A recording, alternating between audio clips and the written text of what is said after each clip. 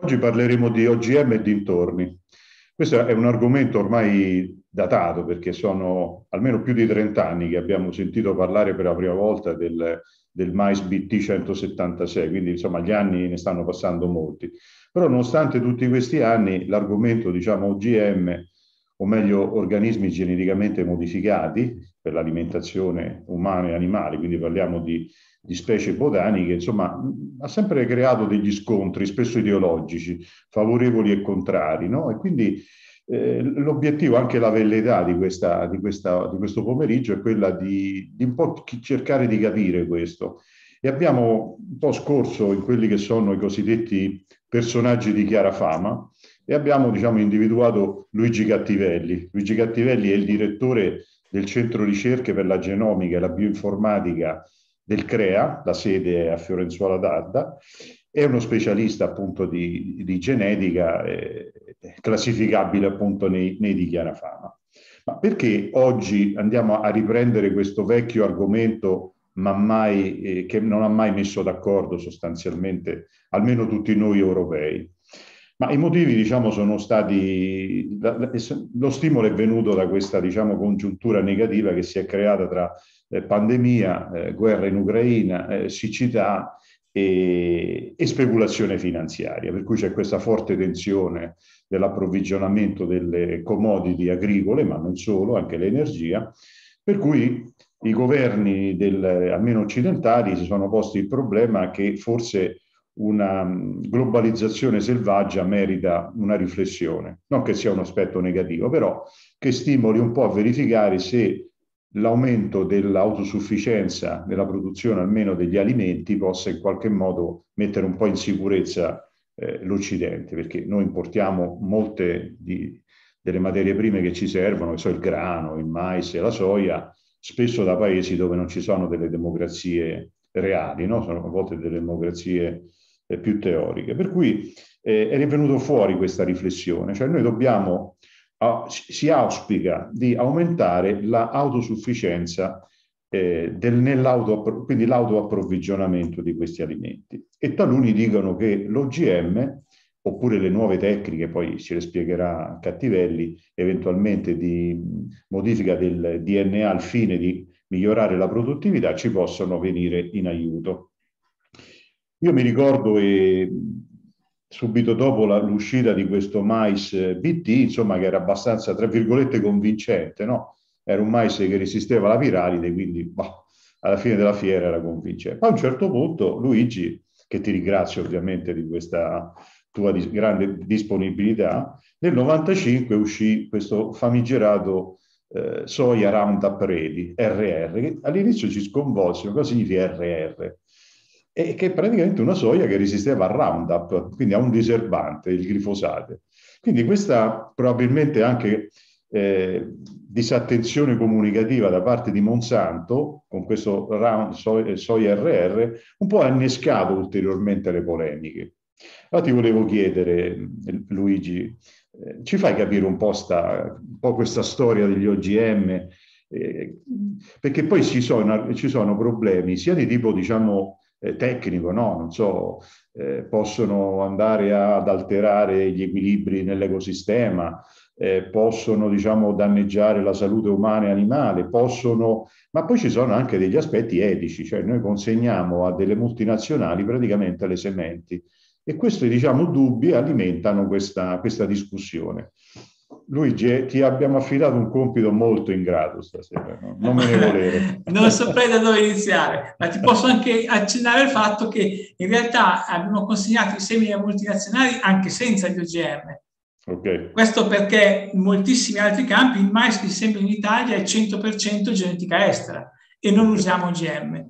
Eh, questo perché la scelta del Paese negli ultimi 30 anni è stata quella, forse inconsapevolmente, ma di fatto è stata quella di, eh, di non supportare una risorsa genetica nazionale e di conseguentemente di consentire a chi investiva di più nel settore di prendersi larghi effetti di mercato. Questo è vero per tantissimi prodotti nei mercati agricoli. Parliamo persino, per, per darti un'idea, la varietà di frumento duro più venduta in Italia è francese Ecco, e questo per dare l'idea di come il paese sia dipendente dal punto di vista della genetica da, da, dagli investimenti che hanno fatto altri paesi. ma ci sono tanti esempi come questo, eh, non è solo uno dei tanti. Eh, ma vediamo come affrontare un pochettino la questione che tu poni. E io vorrei prendermi un quarto d'ora per raccontarti un po' il quadro complessivo in cui ci muoviamo. Non è solamente una questione di OGM sì, OGM no. Il problema è capire che cosa vogliamo coltivare e soprattutto se noi pensiamo che l'Italia debba essere in quanto modo auto, non, anche se non autosufficiente, comunque di, a, tende a diminuire la dipendenza dall'estero dai prodotti agricoli, significa che deve produrre di più. Produrre di più significa o aumentare la superficie agricola coltivata, e questo entro certi limiti non è più, non è, oltre certi limiti non è possibile, ma soprattutto significa usare piante più produttive. Queste sono le piante moderne in quasi tutte le specie le piante moderne producono il doppio di, rispetto alle piante di 40-50 anni fa. Quindi vediamo di capire come abbiamo fatto a selezionare queste piante moderne, come queste piante moderne sono quelle che danno da mangiare alla società di oggi, a tutti, anche a quelli che magari ne sono contrari.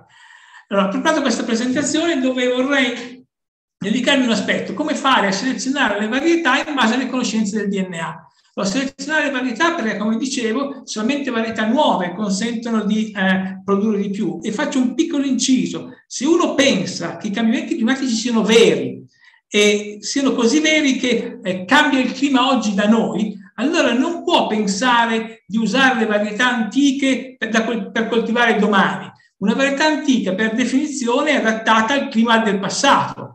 E se domani è più caldo di oggi e oggi è più caldo di ieri, non c'è base logica a pensare che una varietà di ieri, adattata ai climi freddi, sia perfetta domani quando farà molto più caldo. Ok? Questo per essere chiari, per questo bisogna fare nuove varietà. Questo è un, un, un obbligo. Se il paese sopravviverà, la cultura italiana sopravviverà, sarà perché dovremo essere in grado, perché qualcuno selezionerà nuove varietà. E come si fa a fare questo? Si fa sulla base delle conoscenze del DNA. Perché una varietà è un seme, è un pacchetto di geni. E questo vuol dire che le piante moderne sono tutte selezionate su base di queste conoscenze. Vediamo qual è la logica che si segue. Allora, immaginiamo ad esempio di voler aggiungere un nuovo carattere a una varietà esistente o una varietà in generale. Immaginiamo di voler creare ad esempio una varietà resistente a una certa patologia, a una certa condizione climatica. Quali sono le strade logiche che abbiamo davanti? Beh, la soluzione possono essere di due tipologie. Eh, possiamo avere il caso in cui il carattere di interesse esiste già nel germoplasma della specie, perché ad esempio abbiamo una, una forma selvatica o una forma antica della nostra, della nostra specie coltivata che contiene già il carattere. Quindi uno fa semplicemente un incrocio e trasferisce il carattere nelle varietà moderne. Questo si fa con questa tecnologia di incrocio e di conoscenze con i marcatori molecolari, che poi vi spiego un attimo com'è, però è un caso diciamo, semplice. Tipicamente molte resistenze eh, genetiche alle malattie sono, si trovano nelle forme selvatiche della stessa specie. Oppure abbiamo anche altre situazioni di caratteri che non esistono nel genoplasma coltivato. Uno, immaginiamo di voler ad esempio fare una pianta so, resistente a un erbicida, oppure una pianta, un mais resistente agli insetti. Beh, nelle forme selvatiche di mais non esistono mais resistenti alla piralide. Per cui in questo caso il carattere non esiste e possiamo andarlo a cercare, costruirlo. E abbiamo due strade per costruirlo. O cerchiamo in un'altra specie, e riportiamo nella nostra specie di fermento, e questo è il concetto dell'OGM, oppure non esiste nemmeno in un'altra specie e dobbiamo andarlo a costruire all'interno della specie di interesse. E questo si può fare, è stato fatto con due tecnologie fondamentali. Una è indurre mutazioni, quindi creare un nuovo carattere usando una mutazione, che è lo strumento che usa la natura per creare caratteri, e l'altra opzione è quella di fare quello che si chiama genomics, che è di fatto un sistema di mutazione eh, guidato dall'uomo. E anche in questo caso uno crea una nuova sequenza che potrebbe agire un nuovo carattere. Allora, quello che vorrei fare oggi è raccontarvi questi quattro approcci possibili, dandovi qualche esempio di quello che succede.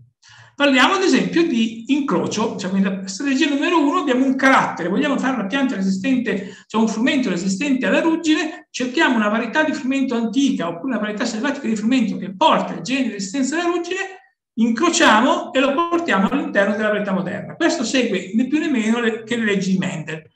Eh, però il grande vantaggio che facciamo oggi è di usare queste stesse, applicare queste stesse leggi di Mendel, quindi questa strategia, usando dei marcatori che ci consentono di tracciare il gene che si muove da una specie all'altra. Eh, una, vi faccio vedere un cartone animato che racconta esattamente la strategia globale e poi vi porto un esempio concreto. Il cartone animato è questo. Prima della, delle conoscenze del DNA, la strategia per fare il miglioramento genetico era questa. Lo vuoi, lo vuoi condividere, Luigi? Il cartone animato non lo vedete? No, non lo vediamo. Non abbiamo visto anche se avevi delle slide. Ah, hai ragione, scusate, ah, okay, non dobbiamo rifarla. Mamma sei mia. Stato, sei stato molto chiaro anche senza allora, slide. Avete ragione voi, questo ve lo sono dimenticato, questo è già un brustissimo gap. Allora, questo qua è il cartone animato che vi dicevo prima. Sì. Eh, in questo cartone animato, ok, quello che abbiamo è il sistema di miglioramento genetico tradizionale, è un sistema di miglioramento genetico, cioè prima delle conoscenze del DNA, è un sistema in cui abbiamo, eh, uno fa un incrocio e la selezione è basata sul livello, su quello che si vede, quello che l'uomo vede, il selezionatore va in campo, sceglie la carota, in questo caso più, più grossa, e spera che i figli di questa carota grossa siano effettivamente grossi come il genitore. In questo modo facciamo la selezione varietale classica. Se però noi operiamo usando delle conoscenze molecolari, cioè se sappiamo quali sono i geni che ci servono, la logica è leggermente diversa. Uno fa sempre il suo campo, prende le piante, analizza il DNA, sceglie le, le piante in base al gene che contengono e sa a priori che la pianta selezionata è quella che contiene il gene, in questo caso qua ad esempio il gene di resistenza alla malattia, che gli interessa. Quindi questo è un sistema di selezione che è applicato in modo esteso oggi, da vent'anni a questa parte, un po' in tutte le filiere produttive, e serve ad avere un sistema razionale basato sulla conoscenza per selezionare i caratteri di cui ci serviamo. E questo è l'approccio standard. Qualche esempio concreto, ve ne porto uno, che è questo. Se voi prendete un banale catalogo di, di pomodori, ad esempio pomodori dell'industria, prendete un ibrido di pomodori dell'industria, questo è uno dei tanti che ho preso a caso, vedrete che questo ibrido è citato resistente a 1, 2, 3, 4, 5, 6 forme di malattie.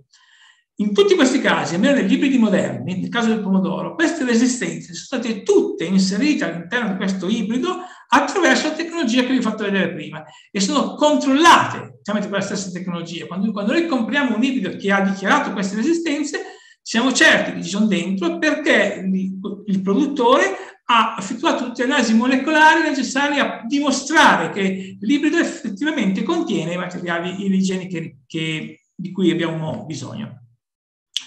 Questo è il primo approccio, quindi una, il carattere esiste in una forma lontana dalle forme coltivate, ma della stessa specie, incrocio questa forma che porta il carattere con la, specie, con la varietà moderna, inserisco il carattere e lo seguo mediante marcatori molecolari. Questa è la gran parte del movimento genetico fatto oggi eh, nel mondo.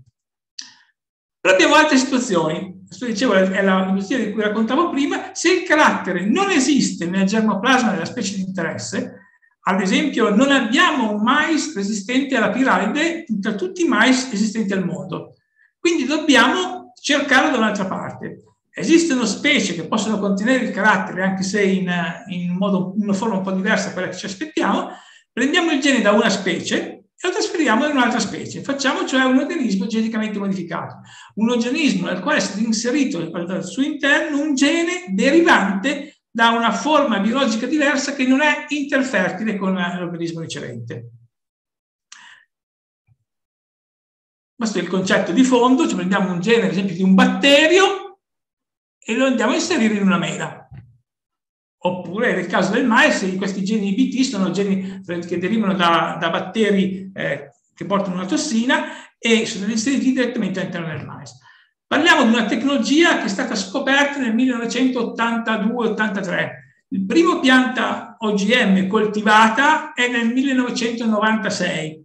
Da allora sono, stati, sono tantissimi campi coltivati. Quanti sono gli OGM nel mondo? Gli OGM approvati in almeno un paese sono oltre 300. Ci sono tantissimi. E poi ci sono tanti altri che sono in fase di preregistrazione eh, non tutti e 300 sono coltivati, sono stati approvati, poi il fatto che vengano coltivati dipende dalla convenienza a coltivare quel prodotto in quel certo paese. Quindi in realtà quelli coltivati sono meno, però quelli approvati da qualche normativa nazionale sono tantissime. Qualche esempio di quelli famosi da noi. Eh, tipicamente il mais BT. Il mais BT è un mais che contiene eh, un gene che codifica per una tossina, una proteina insetticida che si chiama CRY, eh, cioè una tossina eh, derivante da un Bacillus thuringiensis. Il Bacillus thuringiensis è un batterio che si trova nel suolo, che si trova ovunque.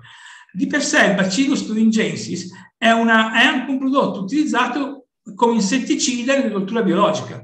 Questo Bacillus thuringiensis, come molti altri batteri, eh, produce tossine che servono a difendersi dai batteri gli stanno intorno. Quindi i batteri sono molto competitivi, molto litigiosi, possiamo, chiamare, possiamo dire. Per cui hanno tantissimi meccanismi di tossicità nei confronti di altri batteri e in questo caso questa tossina è anche attiva nei confronti degli epidotteri, quindi degli insetti che eh, solamente la categoria degli epidotteri. Eh, ovviamente eh, è molto specifica, per cui ad esempio non è tossica nei confronti del, eh, degli organismi dei mammiferi. E il motivo per cui è così specifica è il fatto che per essere attivata questa tossina di per sé è inattiva, quando tu compri il prodotto per l'agricoltura biologica la tossina è completamente inattiva, ma viene attivata se entra all'interno di, eh, un apparato digerente con pH basico.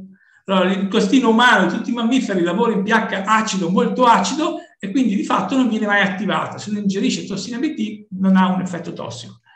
Eh, Qual è il vantaggio operativo? In questo caso abbiamo che la, una pianta di mais BT eh, è resistente agli insetti alla, all'infezione da, da piraide, semplicemente perché la piraide muore quando mangia le prime foglie, il, cioè, no, la larva della piraide muore quando mangia i primi pezzi di insetti di foglia del mais BT e la conseguente mh, mm, mm, resistenza alla piraide è poi un effetto collaterale importante del fatto che queste piante di mais tendenzialmente hanno un minore rischio di essere, eh, in, eh, di essere attaccati dai funghi micotossigeni. Questo perché queste, le fusariosi le micotossine tendenzialmente approfittano dei tessuti danneggiati dalla, dalla larva della piralide. Quindi questa protezione è particolarmente significativa, è totale, quindi le piante sono decisamente resistenti eh, e anche la riduzione del livello di, di micotossine è molto importante. Ovviamente questo è, ha un effetto diretto sulla produzione se uno opera in un ambiente dove la piralide è un problema. E in questo caso abbiamo solo due soluzioni, o uno accetta il, da- il danno da piralide oppure fa un trattamento insetticida. In Italia, dove il BT è vietato, nelle aree in cui la piralide è un problema, ci sono stati diversi tentativi di, fare, di, di effettuare trattamenti insetticidi sul mais per tenerlo protetto dalla piralide, però considerate che in un'area dove la piralide è un problema importante, come questa è la pianura padana, il danno della piralide può essere il 15-20% della produzione. Quindi avere una pianta resistente automaticamente aumenta la produzione del 15-20% nelle annate in cui la piralide è un problema. Un'altra pianta molto diffusa eh, che contiene sempre la stessa tossina BT è il cotone. Anche nel caso del cotone, in Italia non si coltiva cotone, ma cotone è una tipica pianta delle aree calde del pianeta e nelle aree calde noi sappiamo che gli insetti vanno a nozze. Eh, per cui eh, avere delle piante di cotone resistenti ad alcuni insetti, almeno tutti gli insetti della famiglia del gruppo delle lepidotteri, è un grandissimo vantaggio in termini produttivi, in termini di riduzione dei trattamenti fitosanitari. E ovviamente il cotone è perfetto. Un'altra pianta molto famosa per quello che citavi tu all'inizio, molto famosa per la eh, per essere OGM è la soia. Nel caso della soia abbiamo questi Roundup Ready. Cos'è il Roundup? Il Roundup è un insetticida totale, azione totale, quindi distrugge tutte le piante che sono verdi ed è caratterizzato anche da una rapidissima degradabilità del suolo, quindi questo è il vantaggio, tra virgolette, è meno pericoloso di altri insetticidi. Eh, eh, pesticidi. Pesticidi, di, insetti erbicidi. Erbicidi, scusa. Eh, allora, come funziona un erbicida come il Roundup? Questi erbicidi agiscono all'interno della, delle piante bloccando un enzima, normalmente un enzima della produzione degli amminoacidi oppure un enzima del sistema fotosintetico. Se questo enzima è bloccato, la pianta non può produrre amminoacidi, quindi muore, le cellule muoiono. Però è un meccanismo che è molto semplice da, da rendere resistente, perché se uno cambia la forma del, dell'enzima, l'erbicida mh, eh, è in grado di mh, non è più attivo, perché l'erbicida riconosce lo specifico punto del, dell'enzima. Se questo punto viene modificato, l'erbicida non è più attivo nei confronti della pianta.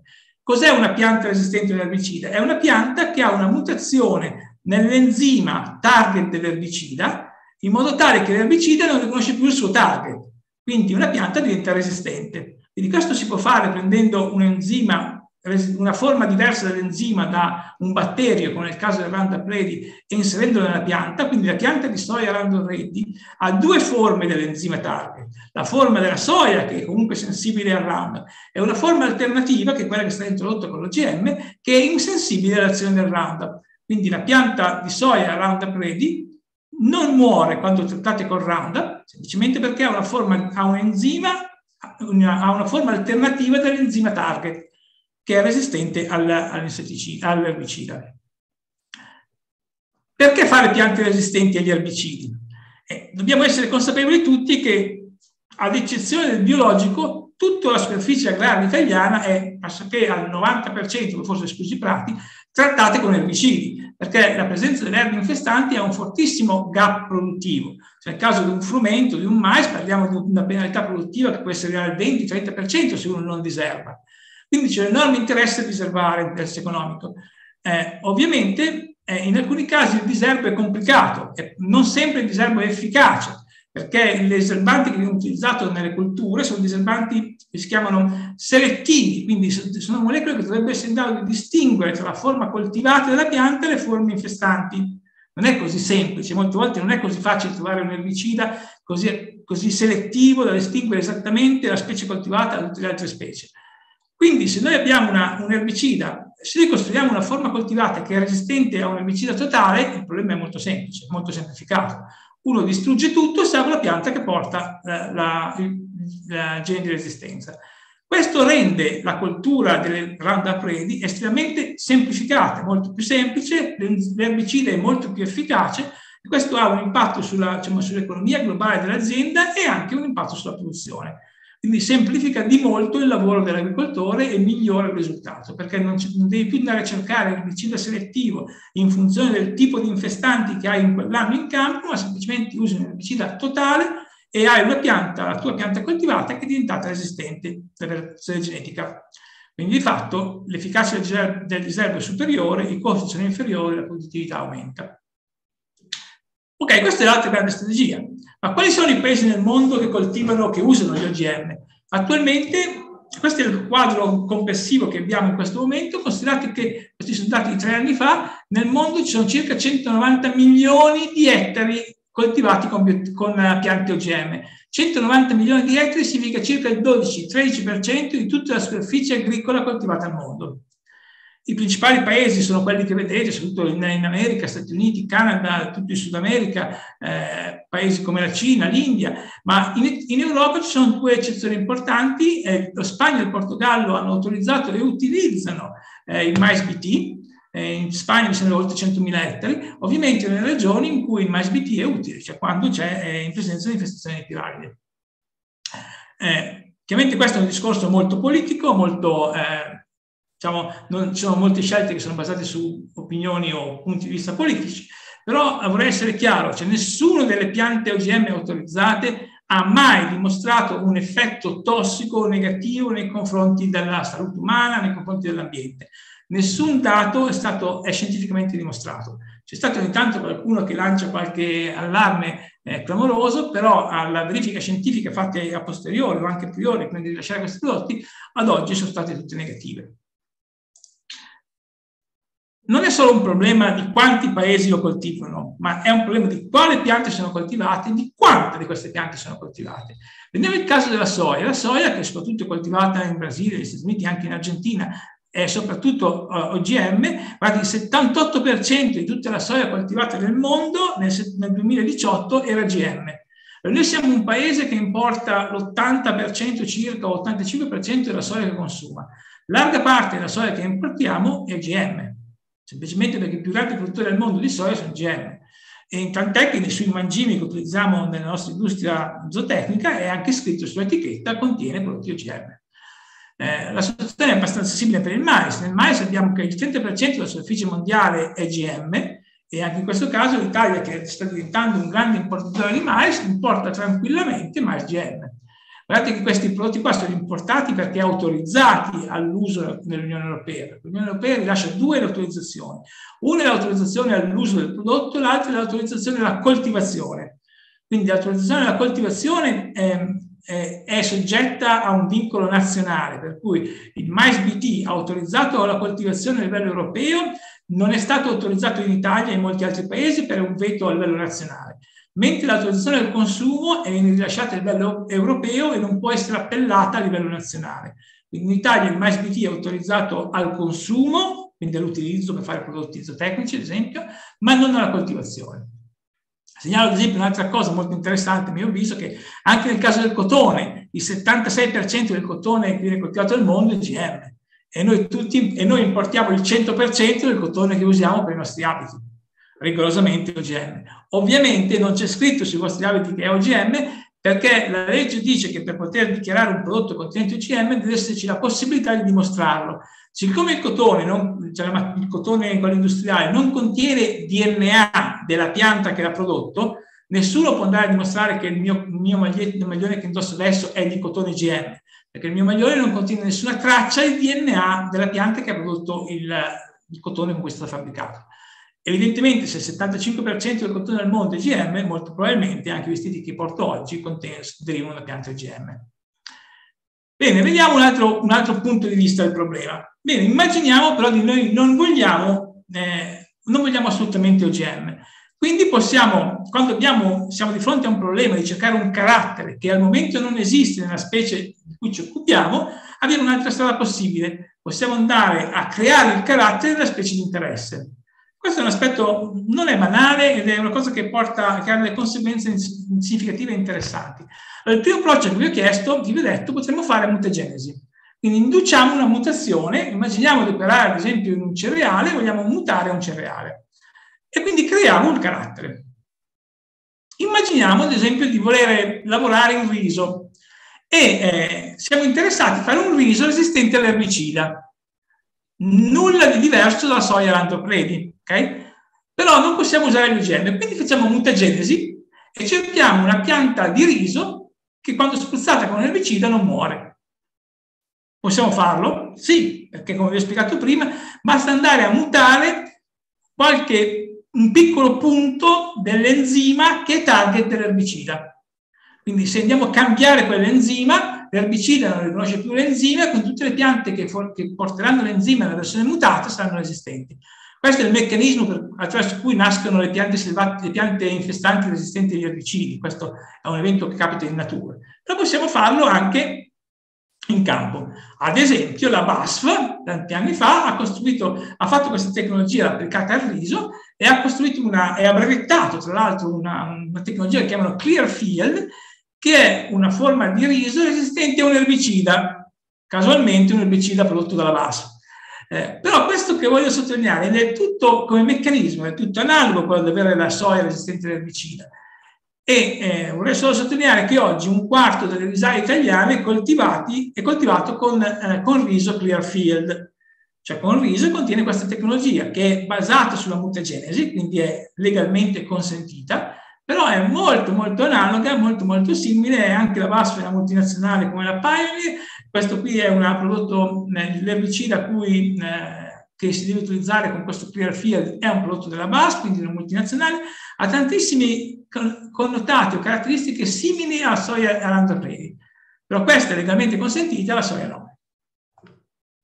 Prendiamo l'ultima strada possibile, va bene? Allora noi non, non eh, l'alternativa alla mutagenesi può essere quella di creare eh, il carattere ti chiedo, ti chiedo scusa Luigi. Il, um, come riescono ad ottenere quindi la mutagenesi? Spontaneamente, guardando nelle piante o può essere indotto? Cioè, ti faccio un esempio. Il, il vecchio greso, no? che dici che era stato ottenuto, è una mutagenesi quella lì? Perché anche allora... quello è oggetto di discussione, diciamo, nei bar, no? il creso è modificato è un OGM, no, è mutagenesi. Come allora, eh, innanzitutto, cioè, se devo dare a dire organismo geneticamente modificato è qualunque organismo vivente, dal punto di vista scientifico. Dal punto di vista legislativo, un OGM è un organismo in cui il gene è stato inserito partendo da un organismo esterno che è stato inserito in modo artificiale. Okay. Quindi questa, la distinzione è legale, cioè l'OGM è una categoria legale, non è una categoria scientifica. Scientificamente direi che qualunque organismo è modifica, ha una porta delle modifiche genetiche. Eh, come si fa a realizzare mutazioni? Ci sono tanti approcci. A partire dagli anni 60, degli anni 60 sono stati, eh, sono stati tantissimi lavori in cui si bastava esporre un sacco di semi a qualche radiazione, oppure se vogliamo un trattamento chimico, un agente chimico, basta immergere un sacco di semi prima di seminarlo in un'ora in un, in un mutageno chimico, toglierlo, lavarlo, seminarlo, queste piante mostreranno tantissime mutazioni. La mutazione, quella di, di Basf, quella del teofile, è stata tutta in questo modo, mediante mutagenesi chimica, poi hanno hanno siamo, valutato migliaia e migliaia di piante semplicemente trattando con l'erbicida e qualche pianta ha cominciato a resistere. A quel punto lì sono accorti, loro andavano già a cercare questa cosa, non l'hanno fatta a caso, l'hanno fatta perché prima sapevano già cosa volevano e come cercarlo e dove cercarlo. Certamente è, è stato un lavoro diciamo, di, dove sono state indotte mutazioni a random, casualmente nel genoma, e eh, fino a che per puro caso anche il gene di interesse è stato mutato eh, ma lo stesso avviene in natura. Come dicevo prima, in natura è frequente trovare nei nostri campi delle, delle piante infestanti che sono resistenti agli erbicidi, quindi delle popolazioni di infestanti che hanno sviluppato la resistenza, semplicemente perché un evento di mutazione naturale sull'enzima target dell'erbicida determina comunque la creazione di una, di una pianta resistente. Questo avviene in natura, viene, può essere indotto all'uomo mediante mutagenesi, oppure può essere fatto mediante genome editing. Il genome editing è l'ultimo capitolo della storia, è questa grande tecnologia recente che è comparsa nel 2012 e che adesso è un po' sulla bocca di tutti, quelle che si chiamano New Breeding Technique o tecnologie di evoluzione assistita, sono tecniche che consentono di andare a modificare il DNA eh, di un individuo, di qualunque individuo, anche a livello, si fa anche nella, a livello medico ad esempio, eh, andando a modificare in modo preciso, una, una mutazione in un gene predefinito. Il grande vantaggio rispetto alla mutagenesi è che il genome editing non va a caso. La mutagenesi è un evento casuale. Genome editing va in una precisa sequenza che è conosciuta a priori induce una mutazione che è predeterminata e quindi può creare un effetto. Il genome editing quindi consente di modificare un gene all'interno della specie target e non inserisce geni esterni. Questo diversamente da quello che sono gli OGM, dove un gene viene inserito, da un, viene preso da un organismo e trasferito in un altro, nel genomedici non c'è trasferimento di geni. E il risultato che si ottiene è tutto analogo a quello che si ottiene con la mutagenesi. Come dicevo, riguarda solamente un gene che è definito a priori e, e poi il meccanismo che serve per fare legge viene rimosso, quindi tutto finale è una pianta che ha alcuna, mh, che ha solamente una mutazione. Ed è per questo che l'editing di per sé è indistinguibile da un evento naturale perché è solo, cioè, solamente chi l'ha fatto è in grado di, di dichiararlo, quindi di autodenunciarsi in questo senso. Ma eh, porto un esempio, mh, esempio del settore del mais. Guardate che una delle prime mutazioni scoperte nei primi anni del Novecento era il mais Woxy. Il mais Woxy che è il mais che ha una modifica nella, nell'ambito del seme, che è utilizzato per alcune filiere industriali, per fare ad esempio la plastica e così via, perché dal punto di vista industriale questi amidi Woxy hanno, una, hanno una, mh, alcune caratteristiche favorevoli eh, muta- se voi vedete un catalogo di ibridi di mais, troverete sicuramente tutte le principali ditte hanno in catalogo diversi ibridi Voxy e sono coltivati anche in Italia. Queste sono tutte piante in cui una mutazione ha distrutto un gene che controlla una parte della sintesi dell'amido. In modo provocatorio, diciamo, Corteva, 4-5 anni fa, ha fatto una pianta editata Voxy, sempre VoxE, sempre ha modificato esattamente lo stesso gene che era stato modificato, che, di cui si attraccia di infinite mutazioni naturali, eh, semplicemente l'ha ottenuto con un modo diverso. Ma solamente perché Corteva si è autodenunciata e ha detto questo l'ho fatto col genometi, noi siamo in grado di dire quello l'ho fatto col genometi. Altrimenti sarebbe stato una delle, centinaia di mutazioni del gene Voxi che sono state descritte in letteratura. Eh, quindi capite che il genometi è veramente mima in modo quasi identico quello che fa l'effetto della mutazione naturale, salvo il fatto che la mutazione non è mai casuale, ma è predeterminata dall'operatore. Eh, posso raccontarvi, beh, forse questo lo possiamo lasciare perdere, forse un po' troppo complesso per questo scopo, cioè il concetto che non è un OGM, eh, cioè, quindi dal punto di vista normativo in questo momento il genomating è equiparato all'OGM, ma tutto il mondo scientifico è consapevole del fatto che questo non è equivalente a un OGM, perché non c'è trasferimento di gene da una, da una specie a un'altra. Siamo tutti in attesa di questa nuova normativa europea che si spera eh, riconosca la realtà dei fatti. Chiudo con un esempio. Parliamo di, eh, di genometi. Bene, eh, esiste una, in Giappone, è stata, è stata è commercializzato oggi una prima varietà di pomodoro ottenuta mediante genome editing. Questa varietà l'hanno chiamata Sicilian Rouge, che già vuol dire molto, eh, ma è una varietà che si trova in commercio sui mercati giapponesi ed è caratterizzata dall'avere un elevato livello di GABA. GABA è un acido gamma-aminobutírico che è una di queste sostanze che ha un effetto positivo sulla salute, cioè riduce l'ipertensione. E come hanno fatto a creare una pianta che accumula più GABA delle altre piante di pomodoro? Hanno fatto un gioco molto semplice, usando il genome editing hanno diciamo, ri, eh, eliminato, hanno tolto, hanno danneggiato il meccanismo che riduce l'accumulo di GABA cioè in, in, negli organismi viventi molto spesso ogni, ogni attività di sintesi ha anche un controllo negativo. Se tu reprimi, annulli il controllo negativo o lo riduci il controllo negativo, la quantità aumenta. Questo in tutti i casi, ad esempio, non so, pensate alla dimensione di un seme. La dimensione del seme è determinata sì da geni che tengono l'aumento della dimensione del seme, ma anche da geni che limitano l'aumento. Se uno distrugge o dà una mutazione sul gene che limita la dimensione del seme, il seme diventa più grande. Andando a toccare un meccanismo regolativo negativo, c'è un effetto positivo. Questi che hanno selezionato questa varietà di, di pomodoro hanno semplicemente tolto un meccanismo di regolazione negativa della sintesi del GABA. Conseguentemente la pianta accumula più GABA di quello che avrebbe accumulato in natura. Siccome a noi, diciamo uomini, fa piacere avere piante con più GABA, eh, è semplicemente un adattamento del genoma di questa pianta a, una, a un'esigenza nutrizionale umana. Quindi come vedete questo è il primo esempio tra l'altro di, di varietà eh, editata, rilasciata, autorizzata e coltivata, quindi già disponibile nei supermercati. Sembra che sia in realtà un successo. Chiudo con questa diapositiva ricordandovi che in Italia abbiamo un progetto che si chiama Biotech, Biotecnologie Sostenibili per l'agricoltura italiana, che è un progetto che sta sviluppando eh, molte di queste, queste, conoscenze sul genome editing a tante filiere italiane e ci sono risultati che vanno dal pomodoro al frumento, eh, a, alla vite, ad esempio, e ad altre specie ancora. E questo è veramente una, quello che chiamiamo un game changer, cioè una quelle tecnologie che può cambiare il modo di affrontare i problemi, di affrontare il miglioramento genetico. E in un'ottica di avere un paese, in un'agricoltura che si deve adattare ai cambiamenti climatici, che è un problema ancora più grande dell'Ucraina dal punto di vista eh, alimentare, perché parliamo di un adattamento che sarà inevitabile nei prossimi anni e con cambiamenti climatici che vanno più veloci di quelli che noi pensiamo.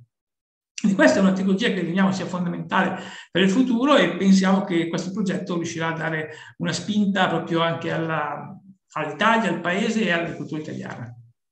Bene, ottimo Luigi, grazie. Se magari chiudi così ti vediamo meglio la condivisione e ti volevo fare alcune domande Luigi, perché ce ne avrei veramente molte e immagino anche quelli dei, dei nostri lettori. Allora, chiariamo bene questo punto, perché anche questo è, è, è, oggetto di confusione. Allora, noi non possiamo, noi parliamo dell'Italia, noi non possiamo coltivare materie prime geneticamente modificate, ma le importiamo normalmente. Oh, che, perché è avvenuto questo, Luigi? Cioè, al di là del... No, lo vorrei affrontare con... Cioè, non c'è stata una dovuta e adeguata comunicazione da parte del, diciamo, di chi eh, è favorevole alla diffusione degli OGM o è un problema, diciamo, ancora più complesso? Perché altrimenti sarebbe un'ipocrisia, no? Cioè li posso comprare ma non li posso seminare. Eh certo, noi li compriamo, non è che li possiamo comprare. Eh, guardate, negli anni 90 fino al 98-99 in Italia c'erano tantissimi campi prova di di mais GM ce n'erano in Pianura Padana, ce n'erano forse 10-15. Eh, erano stati, c'erano già molti programmi di sviluppo degli OGM in Italia, poi attorno al 2000, 2000-2001, quando arrivò il Ministero dell'Agricoltura Pecoraio Scanio, eh, fu lanciato questo bando nei confronti degli OGM. Eh, il governo italiano poi investì tanti soldi per cercare di diciamo, di valutare la sicurezza di queste, queste piante, eh, però non trovarono mai nulla. Guarda, in tutto il mondo ci sono tantissimi lavori che verificano le, la sicurezza, la, eh, l'impatto sull'ambiente, sulla salute di queste piante e nessuno ha mai riuscito a dimostrare che queste piante abbiano un impatto diverso rispetto a una pianta uguale a un OGM. Eh, Però c'è stata questa posizione, presa posizione principalmente politica, a mio avviso, questo guardisco l'opinione personale, eh, che poi ha bloccato anche a livello europeo la strada a questo tipo di tecnologie. È chiaro che siamo un paese un pochettino ipocrita, perché eh, non facciamo gli OGM, ma li importiamo a mani basse. Eh, abbiamo politiche di disincentivazione della ricerca genetica in Italia per andare a importare eh, genetica estera ritorno alle varietà antiche sia una soluzione, ma questo non può essere una soluzione. Primo perché le varietà antiche non producono, secondo perché il cambiamento climatico non guarda in faccia a nessuno, nemmeno le varietà antiche. Quindi noi ci viviamo in una, in una dimensione che non è reale. E se vendete, cioè, il vero dramma è che c'è un percepito del prodotto agricolo e una realtà percepito il prodotto agricolo è quello della pubblicità del, tra virgolette, mulino bianco. Noi pensiamo che il prodotto agricolo sia fatto con quello spirito, quando in realtà non è così. Ma non è così, non può essere così, perché non abbiamo lo spazio per coltivare. Eh. Faccio solo un esempio molto pratico. In Italia si coltivano 600.000 ettari di frumento tenero. Questi 600.000 ettari coltivati prevalentemente con varietà moderne forniscono il 40% del frumento tenero usato in Italia per fare la brioche, il panino, il pane, la, la pizza e così via. Se noi immaginassimo, e quindi già, importiamo già il 60%, molto dall'Ucraina ad esempio. Se noi immaginassimo eh, di passare alle varietà antiche, la produzione nazionale scenderebbe alla metà, quindi diventeremo importatori dell'80% del frumento tenero che, di cui abbiamo bisogno.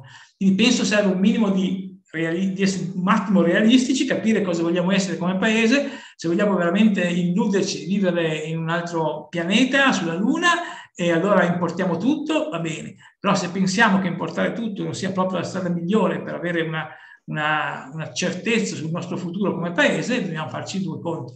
Come, dire, come, disse, come sentito dire una persona oggi, eh, diciamo, la ricreazione su questo tema qua è finito. Bisognerebbe cercare di, eh, di prendere decisioni che siano coerenti eh, e, e, in base alle idee. Cioè non possiamo desiderare un'autosufficienza alimentare o desiderare di non importare il grano dall'Ucraina o dalla Russia quando poi non siamo in grado di, di adottare le misure necessarie per produrlo. E guardate che nel grano non parliamo nemmeno di grano GM, che al momento certo. cioè, non, non, c'è in Europa, ma in realtà c'è da qualche parte nel mondo, c'è comunque.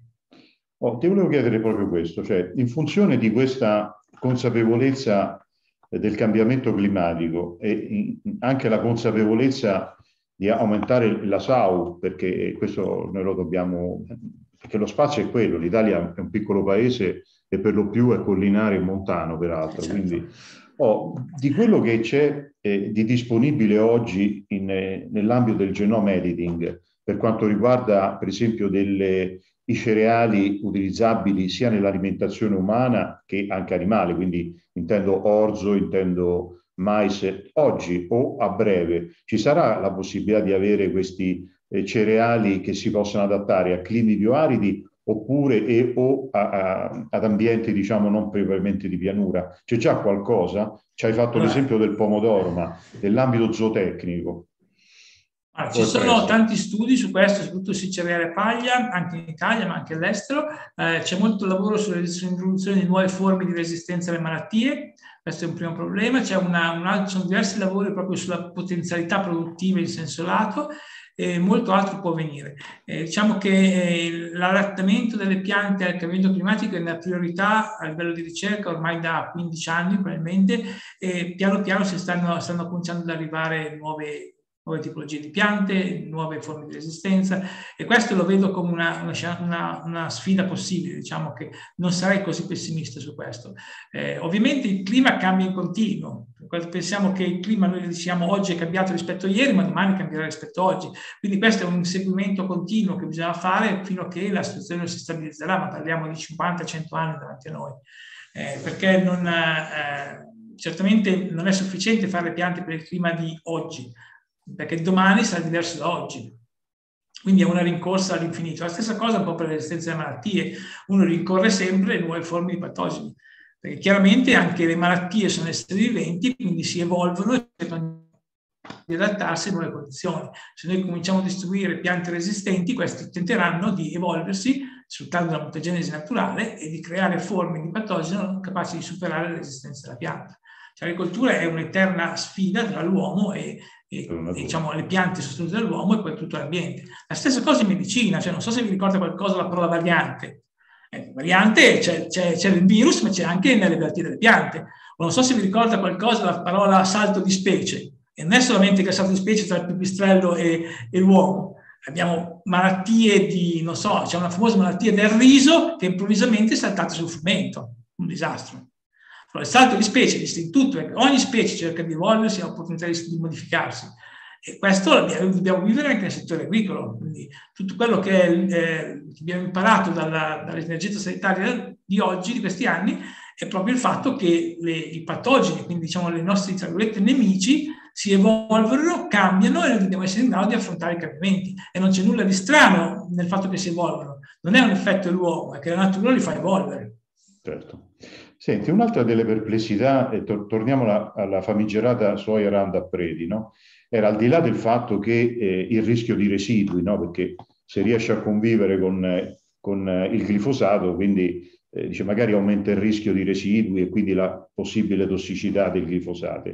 Ma c'era anche, diciamo, mh, tra gli obiettori di queste cose è che il, mh, l'inserimento di geni diversi, geni alieni all'interno di una pianta potesse, che so, creare il rischio che venissero sintetizzate delle proteine allergizzanti per l'uomo, cioè tossiche, qualcosa che non è presente normalmente. Ti senti di fugare questo rischio nell'OGM? No, parliamo di caso per caso, perché OGM è una categoria estremamente eterogenea. Uno può fare l'OGM col gene per il veleno del serpente cobra e fa un OGM velenoso, ok? okay. Questo non esiste, sia chiaro, non nessuno l'ha mai fatto. Però via di principio, se io prendo un gene per una sostanza tossica, faccio un OGM, faccio un, OGM tossico. Vediamo un attimo la questione del dosaggio dei glifosati. Non confondiamo le cose. Cioè, il problema che è sorto in questi ultimi anni del fatto che ci siano residui di glifosati nei cereali tipo frumento o orzo non dipende dal fatto che quelle piante sono resistenti ai glifosati. Ok? È un approccio diverso. Eh, il motivo è diverso, nel senso che quando noi importiamo un frumento dal Canada, ad esempio, da un paese del nord, del, del nord Europa, del Nord America, lì eh, le piante crescono in una condizione molto particolare hanno cicli brevissimi. Le piante in Canada, il frumento in Canada viene seminato a maggio e viene raccolto a settembre. Lì una pianta di frumento fa il ciclo in 99 giorni, in alcuni casi anche 95. Quindi il loro problema è di seccare la pianta e raccoglierla. Tanti anni fa in quei paesi i frumenti venivano falciati come noi si falcia il fieno e poi raccolti una volta che la pianta era secca. Eh, oggi trattano con glifosate, essiccano la pianta in piedi e poi raccolgono. Questo è il motivo per cui nel frumento che viene da quelle aree geografiche frequentemente si trova un po' di residuo di glifosate, perché viene utilizzato per la raccolta, non per difendere la pianta dalla, dal, dagli infestanti. Nella soia invece il problema è diverso, completamente opposto, quindi la, la, il, la soia viene trattata con glifosate quando è molto giovane, in fase di sviluppo della coltura, quando le erbe infestanti scompetono con le piante di soia per, per lo spazio vitale. In questo caso le, i baccelli di soia, i semi di soia che vengono raccolti, non entrano in contatto con i glifosati, perché i glifosati distribuiti sul campo mesi prima che compaiano i fiori e i baccelli e quindi quelle soia che raccogliamo. Quindi nessuno ha mai trovato un residuo di glifosate nella soia Roundup Ready importata. Più frequentemente si trova residuo di glifosate nei frumenti che vengono da aree geografiche dove il clima è tale per cui è conveniente disseccare la pianta in campo prima di raccoglierle. Tipicamente Canada, dove arrivi a settembre e, e primo ottobre nevica, quindi tu tratti con glifosati e poi entri con la che raccoglie. Okay. Per quanto riguarda invece l'altro problema legato alla comparsa di eh, eventuali proteine, mh, mm, come dire, che possono dare un problema poi a livello di alimentazione umana, anche qui dobbiamo distinguere le cose. Eh, allora, eh, ci sono stati tantissimi studi su questi aspetti e di norma eh, nessuno degli OGM commerciali, parliamo di più soia, mais e così via, è mai stato dimostrato avere un ruolo di allergizzante. Ci fu in passato un caso che fu fatto e fu bloccato in fase pre-commerciale, che non, andò mai in commercio, di una proteina che originava, mi sembra, derivasse da una pianta brasiliana, che aveva dato qualche origine, qualche problema eh, di tossicità, eh, di allergenicità. Ma guardate che però stiamo parlando di piante dove quelle commerciali autorizzate il rischio è nullo, sono stati verificati per questo. Cioè è molto più rischioso mangiarsi un pomodoro o un kiwi, guardate quante persone sono allergiche ai kiwi, eh, piuttosto che testare una, usare una pianta di mais dimostrata certamente innocua. Okay. Cioè, vale sempre capire bene quello che giochiamo. Cioè, noi accettiamo di eh, essere esposti a una marea di allergizzanti nella nostra vita, di prodotti che non sono mai stati testati come allergizzanti perché sono prodotti naturali, mentre non accettiamo il rischio di un prodotto che è stato verificato non allergizzante perché è GM. Volevo fare un'ultima domanda, Luigi. È una domanda, diciamo, non tecnica, non, sei uno scienziato, quindi è una, è una domanda del mondo etico, no? che ti ho fatto poi all'inizio e tu mi hai anche un po' risposto, ma vorrei approfondirla. Allora, il fatto che eh, queste, diciamo, modifiche genetiche che possono essere l'OGM eh, che, di cui hai parlato, che possono essere la mutagenesi, che possa essere l'editing eh, genomico, eccetera, eccetera. Eh, di fatto sono la proprietà di questi semi appunto è di multinazionali. Tu mi hai già risposto perché mi hai detto ma eh, guarda che comunque eh, non soltanto queste piante sono di proprietà di multinazionali, ma noi lo vediamo, è comunque straniere, no? Ma lo vediamo anche nella genetica animale, ci sono alcune razze che noi le portiamo dall'esterno. Però mettiamola da un punto di vista etico, perché questo è un ostacolo molto importante per la diffusione eventuale appunto ulteriore, oppure, oppure la, l'autorizzazione alla coltivazione. Ehm, ma è, è, in un mondo lontano sarebbe immaginabile che queste piante modificate geneticamente in qualche modo, anche con lo stesso genoma editing, appartengano all'umanità e non a, a, a delle multinazionali? Allora, mettiamo due aspetti. Il primo, io penso che quello che è chiaro un po' da tutti questi discorsi, se uno si, magari forse per me che sono dentro nel settore, ma forse potrebbe essere chiaro per molti, è quello che è evidente che le conoscenze genomiche sono un asset strategico dell'agricoltura cosa che fino adesso nessuno l'ha mai considerato. Ma se uno non ha il seme, non è proprietario del seme, non è in realtà proprietario della propria agricoltura, perché la tua agricoltura dipende da che ci metti il seme. E non c'è agricoltura senza genetica, quindi non è che possiamo bypassare questo problema. Quindi dobbiamo renderci conto come comunità nazionale che la, la, genetica, le conoscenze genetiche sono veramente un asset strategico, senza le quali la nostra agricoltura è perennemente dipendente da altri. Ora, chi fa miglioramento genetico? Tanti, non solamente le multinazionali, ci sono tante industrie anche in Italia, medio, piccole, ci sono paesi europei che, e poi non sono solo le multinazionali americane, ci sono tanti paesi europei che sono organizzati con programmi di ricerca pubblico-privato, con eh, obiettivi a lungo termine, cioè non è, eh, che, non è tutto bianco-nero, ci sono tante situazioni intermedie per cui non è perso in assoluto, serve che il paese sia consapevole del fatto che non si può fare agricoltura senza genetica. Eh, e questo mh, veramente è eh, la sfida di questi anni. Eh, per quanto riguarda poi la questione legata alle proprietà intellettuali, questo apriamo un, un discorso ancora diverso. Eh, prima di tutto considerate che già le varietà di oggi sono coperte dalla varietà, dalla proprietà intellettuale, le varietà di frumento che coltiviamo, ma quelle di tutte le varietà, sono coperte da un sistema di proprietà intellettuale eh, che si chiama privativa vegetale e che non è il brevetto industriale, è una forma un po' diversa, però copre e protegge le proprietà. Questo semplicemente eh, ripaga le, le, industrie che hanno, fatto, che hanno investito per la selezione delle varietà. Cioè, questo lavoro genetico che vi ho raccontato brevemente ha un costo molto elevato. Quindi questo è possibile solamente se ci sono dei finanziamenti. Ora, eh, in molti paesi europei gli investimenti nella selezione varietale sono privati incluso l'Italia, ma in Italia è ancora 50-50, però in molti paesi sono privati. Allora, questi investimenti privati, il privato lo fa se c'è un ritorno economico. Questo ritorno economico al momento è garantito dalla, dalla privativa vegetale. Un po' come il brevetto sui farmaci. Allora, possiamo immaginare un mondo in cui eh, le, le, piante non siano più coperte a brevetto, siano disponibili per tutti? Dipende da che strategia di paese vogliamo fare. Cioè, immaginare un mondo si può, però bisogna poi agire conseguentemente.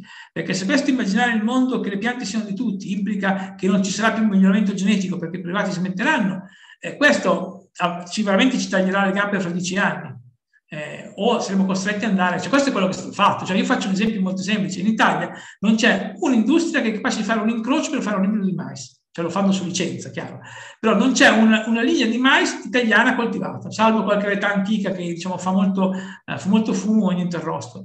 Ora, questo è la conseguenza di scelte fatte negli anni 90 e 80. Ora, è chiaro che se noi facciamo quelle scelte, poi abbiamo questo risultato. E allora se noi vogliamo tornare indietro adesso ci costerà una montagna di soldi, di investimenti per recuperare il tempo perduto. La stessa cosa sta avvenendo in altri settori, anche se non così drammatici come nel caso del mais. Quindi eh, se l'idea è noi ci, ci, accontentiamo di quello che abbiamo, guardate che fra dieci anni non avremo, non avremo, più, non avremo più possibilità di andare avanti. Eh, se invece noi vogliamo le piante di tutti perché c'è un fortissimo investimento pubblico che mantiene la, il progresso genetico attivo, questo è un altro discorso, però implica scelte, costi, così via. Io sarei una cosa un po' diversa, sarei per un sistema in cui eh, ci, ci, sia un forte investimento pubblico-privato, una forte eh, collaborazione tra ente pubblico e ente privato organizzata da progetti pubblici o comunque da finanziamenti controllati. Una cosa analoga c'è ad esempio in Francia per quello che riguarda il building dei cereali, cereale paglia. Cioè, le grandi industrie francesi lavorano tutte più o meno intorno all'IRA, con politiche nazionali di medio e lungo termine. Eh, cosa che in Italia non esistono. Per, per, dare un esempio clamoroso, in Francia alcuni anni fa hanno fatto un progetto pubblico-privato per il miglioramento genetico del frumento della durata di 10 anni. Cioè, il progetto più lungo che ho mai visto fare in Italia durava tre anni. Quindi loro hanno fatto un programma di dieci anni pubblico-privato, dove mettono insieme l'IRA e tutte le industrie private che fanno il genetico del frumento. Ora, non è un caso se poi noi coltiviamo frumenti francesi, perché loro vanno avanti così da, dagli anni 90. Bene. Quindi dobbiamo essere coerenti con quello che vogliamo. Vogliamo questo, abbiamo, sviluppiamo politiche coerenti e realistiche. Altrimenti possiamo limitarci a sognare, ma appunto rimane un sogno. Bene Luigi, allora possiamo dire in chiusura che si semina quello che si raccoglie sostanzialmente. Esatto. Luigi, noi ti ringraziamo molto, ci hai fatto questa panoramica su questo, su questo mondo, ti, ci, ti disturberemo ancora perché eh, il nostro paese, come anche devo dire un po' tutto l'Occidente, ormai si trova di fronte a delle scelte, quindi e le scelte comportano anche di lasciare indietro qualcosa. Luigi, noi ti ringraziamo ancora molto e, e ti auguriamo un buon proseguimento della tua grazie attività. Grazie davvero, grazie a voi e alla prossima. Grazie.